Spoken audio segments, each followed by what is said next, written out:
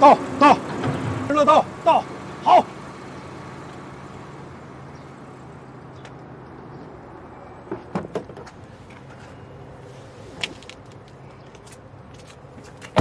你没走啊？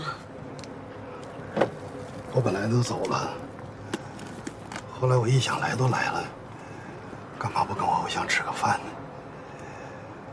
我不能留下遗憾呢所以我又回来了。我刚才回来的路上买的手抓饼，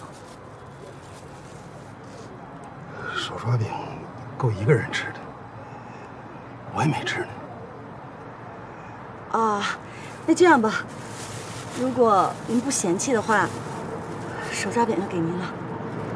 我楼上还有工作餐。哎呀，这还热乎呢，这不是就等于给我买的一样吗？呃，胡先生，还有工作要忙，咱们来日方长。反正是这样。作为粉丝呢，我就一个小小的愿望，要是能一起吃个饭，我今生今世都忘不了；要是不能吃饭，反正我这心也是挺凉的。啊，行，改日啊，改日。我还有事儿。妈，外面那老头是谁呀？我看他蹲半天了。啊，那就是直播间里一个刷礼物的，谁呀？曾经的少年。曾经的少年是个老头啊！你以为呢？我以为是个翩翩公子呢。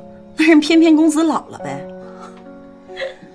哎，你说这老头儿也够执着的，天天要找我吃饭，非要请我吃饭。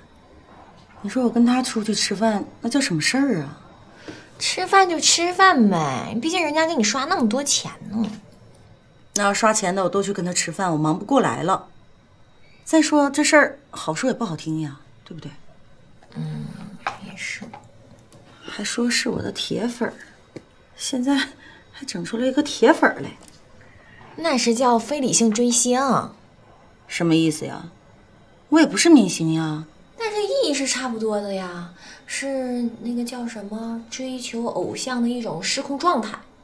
上一边去吧，还追求偶像呢。妈，你可真有魅力。哎，这事儿王叔知道不？可别乱说话啊！